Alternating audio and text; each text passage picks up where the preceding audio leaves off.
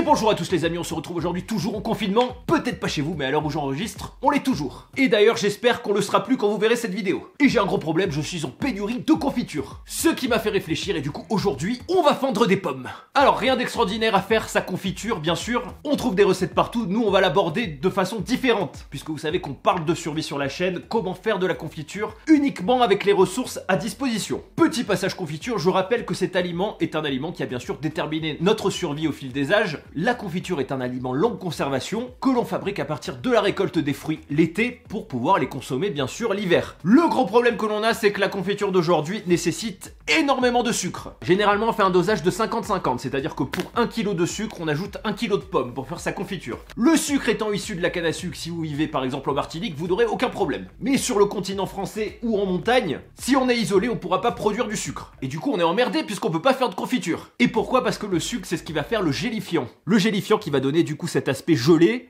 pour la conservation de la confiture. Et du coup, la question que je me pose, c'est comment faisait-on à l'Antiquité pour faire de la confiture sans canne à sucre? Aujourd'hui, on a retrouvé une technique, on est un peu dans l'expérimental. La technique consiste à extraire un gélifiant naturel en récupérant les déchets du fruit. Et c'est ce qu'on appelle la pectine. Deux conservateurs essentiels dans la confiture pour passer l'hiver et pour faire une confiture, ça va être l'acidité et le gélifiant, qui va tout simplement empêcher la prolifération bactérienne. Une confiture, on peut l'ouvrir et la refermer pendant des semaines. J'ai bien pensé à remplacer le sucre par du miel, mais ça va être compliqué. Déjà parce que le miel, ça va être une ressource rare et il en faudra des tonnes et des tonnes. Et du coup, je sais pas si ça va marcher. Par contre, il y a la pectine. Sachez que la pectine est aussi un complément alimentaire chimique. On le retrouve sur les produits, c'est l'additif E440. Aujourd'hui, nous allons partir d'une base de pommes, extraire la pectine et transformer tout ça en confiture gélifiée. Et pour ça, en plus de votre fruit pour la confiture, vous aurez besoin d'un seul ingrédient principal, un seul citron, puisque c'est l'acidité qui permet d'extraire la pectine. Au niveau du fruit, la pectine est concentrée, attention, dans la peau, dans le trognon, la queue et à l'intérieur dans les pépins. Et je trouve que c'est un beau hasard puisque c'est tout ce qu'on va pas mettre dans la confiture. Ce sont nos déchets, donc pas de gaspillage. Et bien sûr, j'ai pris des pommes parce que moi j'ai des pommiers qui donnent malheureusement qu'une fois tous les 4 ans, mais peu importe l'endroit où vous vivez, l'important c'est de connaître les fruits riches en pectine. Dans l'ordre des fruits que vous pouvez utiliser, nous avons le pomelo, l'orange,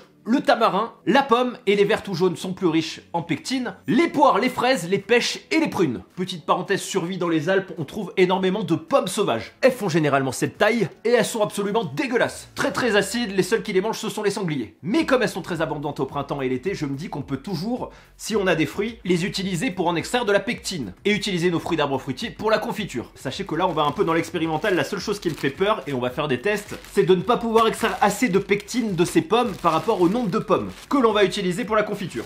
Tout est une question de dosage, c'est parti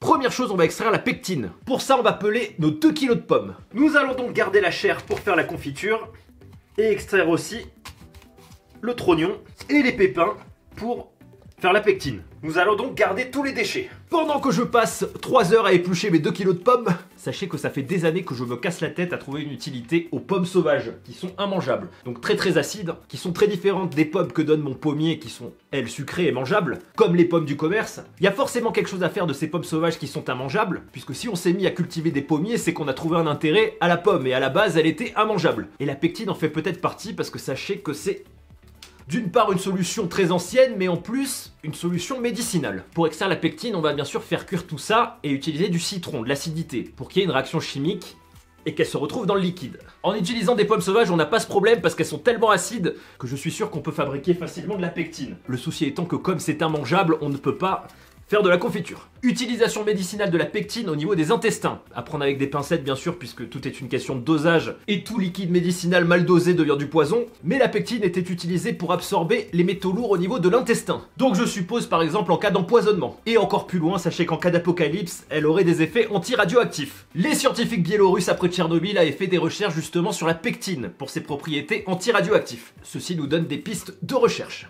Et voici donc ce que l'on obtient. Nous avons donc ici tous nos déchets que nous allons utiliser pour fabriquer la pectine et toutes nos pommes. Oh, la chair des pommes que nous allons utiliser pour la confiture. Et pour la pectine, nous allons utiliser un litre d'eau que nous allons bien sûr porter à ébullition. Lait Pour un litre d'eau, on va utiliser bien sûr un citron entier. On verse donc nos déchets. Nous avons les déchets de 2 kg de pommes. On remue bien et on laisse tout ça mijoter à faible ébullition pendant 30 à 40 minutes. Hmm, Solution extrême, sachez que les pépins sont très riches en pectine. Vous pouvez ainsi conserver tous les pépins des fruits que vous mangez l'été pour en faire de la pectine l'hiver approchant. Et on se retrouve finalement 45 minutes plus tard, ça m'a pris un peu plus de temps, puisque pour obtenir une solution précise, il faut que votre eau diminue de moitié. Voici les amis notre pectine, alors quand elle est prête, vous devriez commencer à la voir apparaître, puisqu'on devrait obtenir un liquide légèrement rosé. Alors, chose importante, on va maintenant devoir filtrer la préparation. Il vous faut donc un tamis, un torchon et un bol. Bol, tamis et torchon. Allez, c'est parti, on verse notre mixture. Hop là. Oh. On va prendre un pilon, on va maintenant écraser pour vraiment prendre tout le jus. Accessoirement, vous pouvez aussi utiliser un mixeur pour tout mixer et refiltrer. Et attention, la méthode de bourrin.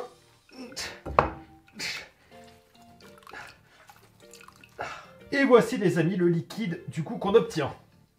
On passe maintenant à la confiture, je vous invite donc à découper la moitié de vos pommes. Je vous rappelle qu'on est parti avec 2 kg de pommes, mais nous n'avons pas 1 kg. Ne les pesez pas puisque la moitié de vos pommes ne font plus 1 kg vu qu'on a enlevé les trognons et les peaux. Et c'est à ce moment-là que la recette va être tendue, c'est pour ça que j'ai fait une concentration de pectine assez élevée, puisque le dosage dépend aussi du fruit, ça dépend de plein de choses. Donc là il faudra faire vos tests, hein. je rappelle que faire de la confiture c'est aussi un métier, et de cette façon c'est encore plus dur. Notre dosage test à nous ça va être de la pectine issue des déchets de 2 kg de pommes et nous allons récupérer la chair de la moitié, soit de la chair d'un kilo. Et je rappelle que nous avons utilisé un citron. Nous allons donc mettre nos pommes dans la casserole haut.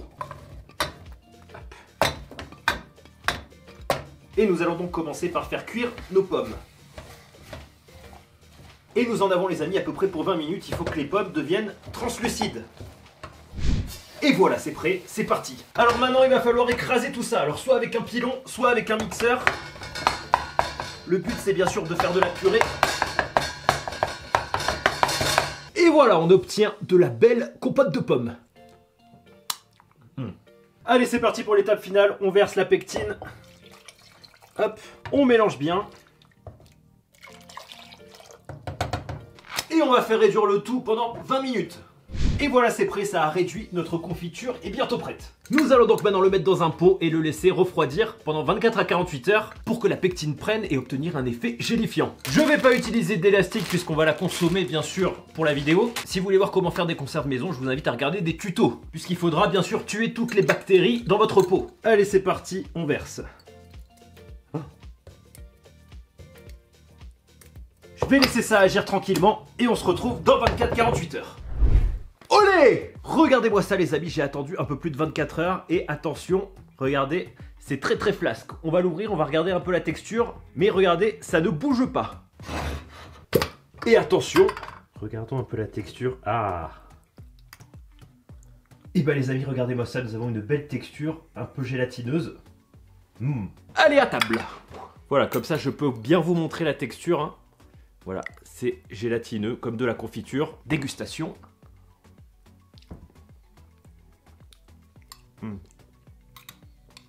Et bah regardez-moi ça, c'est très bon. Par contre, au niveau du goût, ça se rapproche plus de la compote du pomme, mais au niveau de la texture, de la confiture, hein, regardez-moi ça, ça ne bouge pas. Hop.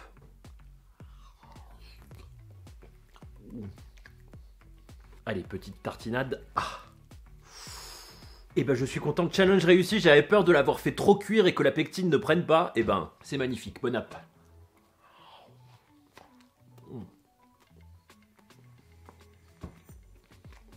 On vient d'inventer de la confiture de compote de pommes. Nouvelle recette. Bon appétit. Hmm. Allez, on va faire le mix ultime de confinement. On étale une petite tranche de magnifique confiture de pommes. Et on ajoute un autre aliment longue conservation, bien sûr, de la pâte de Nutella. Ah. Hmm.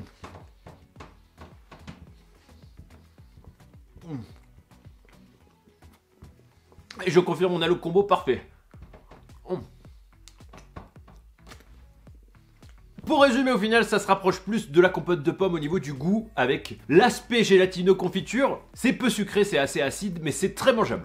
Hum. Avec un peu de sucre de Nutella, c'est parfait. J'espère en tout cas que cette recette vous a plu. Je vous invite à l'essayer à la maison, bien sûr, à extraire la pectine de tous les fruits. Je vous le dis à chaque fois, n'hésitez pas à me marquer sur vos stories, sur Instagram. Et dès que j'ai le temps, je les partage avec plaisir. Bien sûr, n'hésitez pas à vous abonner si vous voulez voir d'autres recettes de survie et astuces longue conservation. En attendant l'apocalypse, mangez gras et survivez. Et à bientôt, ciao